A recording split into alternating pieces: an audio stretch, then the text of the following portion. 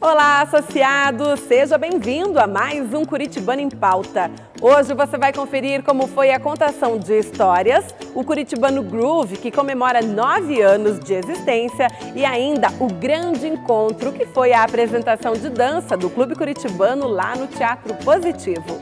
É agora, confira comigo!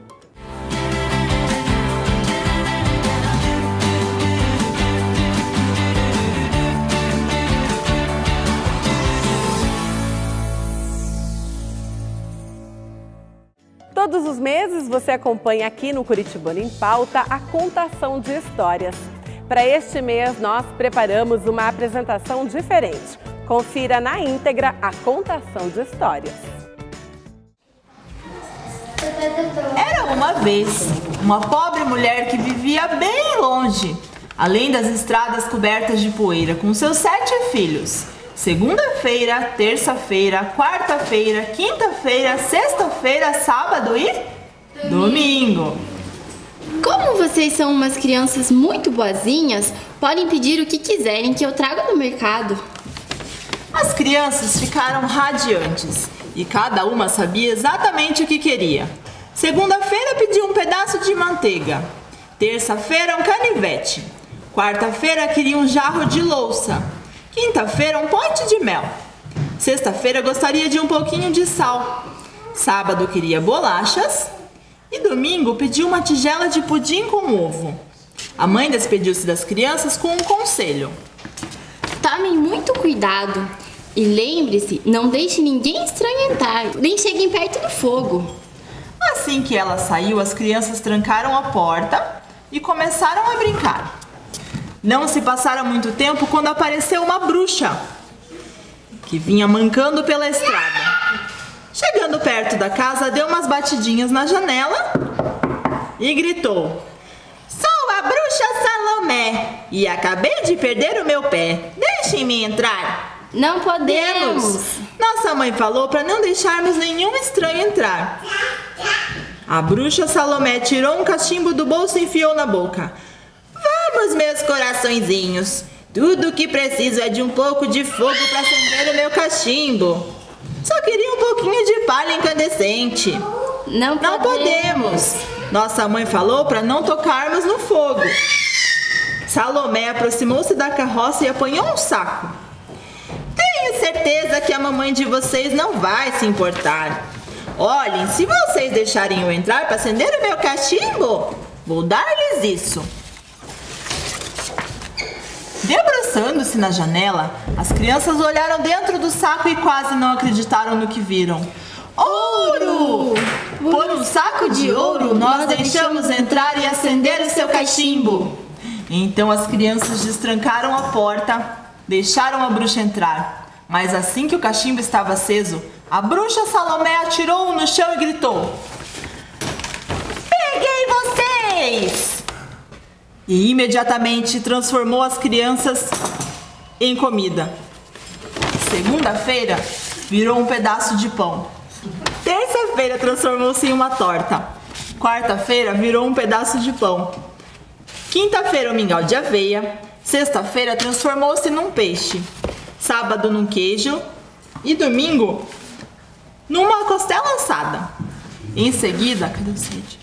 Salomé reuniu toda aquela comida e colocou dentro de uma carroça.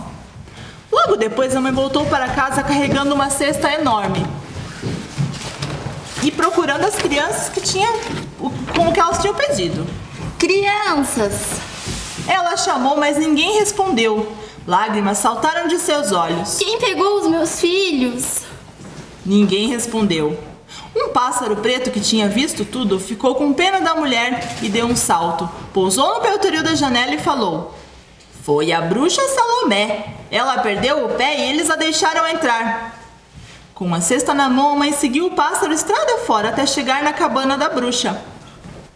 Salomé tinha acabado de sentar-se para jantar. Estava prestes a comer a sua torta na primeira dentada quando ouviu uma forte batida na porta. Deixe-me entrar, eu quero meus filhos. Você não pode entrar. Seus sapatos estão sujos. Então eu tiro os meus sapatos. Você não pode entrar. Suas meias estão sujas. Eu tiro as meias, deixe-me entrar, eu quero meus filhos de volta. Você ainda não pode entrar. Os seus pés estão sujos. Então eu vou cortá-los. E a mãe foi saindo como se fosse mesmo fazer aquilo. Mas ao invés de cortar os pés, ela deu um jeito de escondê-los debaixo da saia e voltou de joelhos até a cabana da bruxa. Deixe-me entrar, quero meus filhos de volta. Salomé olhou para baixo e pensou que a mãe realmente não tinha mais os pés e deixou-a entrar. Aqui estão os seus filhos. Se você não conseguir adivinhar quem é quem, eu vou comê-los no jantar. E você só tem uma chance. A mãe ficou desesperada, mas de repente descobriu o que tinha que fazer. Tinha que adivinhar as coisas da cesta e ver qual filho, qual comida que o filho queria. Vou descobrir que alimento a cada filho pelas coisas que queriam. Hum, o pão queria manteiga, então é segunda-feira. A torta quer uma faca, então é terça-feira. O leite quer um jarro, esse é quarta-feira. O mingau quer mel, então é quinta-feira. O peixe quer o sal, então é sexta-feira. O queijo quer bolacha é sábado. E a costela assada combina com pudim, esse é o domingo. Num piscar de olho, as crianças voltaram a ser o que eram. Abraçaram e beijaram a mãe e festejaram uns com os outros. Imediatamente a mãe ficou em pé e gritou para a bruxa: Consegui meus filhos de volta, Salomé. Agora você vai se arrepender de tê-los roubado. E começou a correr atrás da bruxa até sair da floresta, passar pelos campos de trigo, pela cidade e finalmente chegar até a ponte. Então a bruxa Salomé pulou para dentro do rio e nunca mais foi vista novamente.